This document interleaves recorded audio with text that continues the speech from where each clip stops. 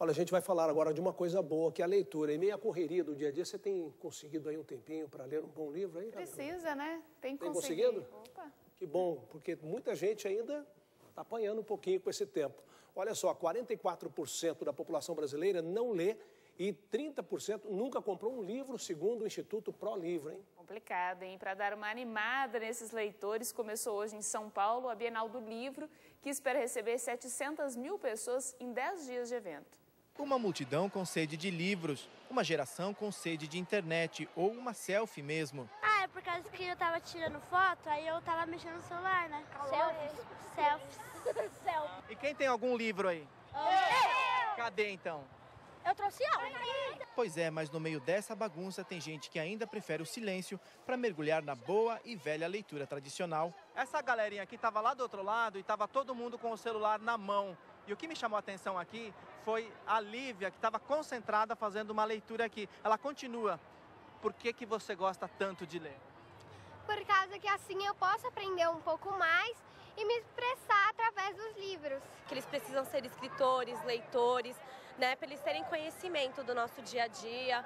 A Bienal do Livro reúne as principais editoras, livrarias e distribuidoras do país. Economia, é, questão de matemática, acho bem interessante. É um lugar cheio de atrações e muitas histórias. Neste espaço aqui, a criança se torna protagonista da história. Nesta tela, é só colocar o nome, escolher as características do personagem e em pouco tempo já sai com o livro na mão o sonho de um escritor mirim em páginas personalizadas e com acabamento de primeira. Importante para o desenvolvimento da criança mesmo. Então, mostra em algumas cenas como que ela se relaciona com os amigos dela, mostra em outras cenas inclusão social. Neste universo gigantesco de livros, tem espaço para o segmento religioso. As editoras Canção Nova e Petra estão na Bienal, no estande da Saraiva. Juntas, elas apresentam livros que transformam vidas. A sessão de autógrafos com o Márcio Mendes será na segunda, dia 29, das 6h30 às 8 da noite. Padre Adriano Zandoná participa na quinta, dia 31, das 6 às 9 da noite. Padre Joãozinho no dia 1 de setembro, das 5 da tarde até às 7 horas. Já no dia 2 é a vez de Fernanda Soares, das 2 às 4 da tarde.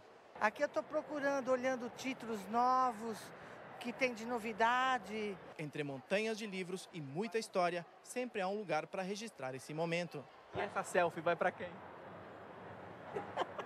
vai para minha família.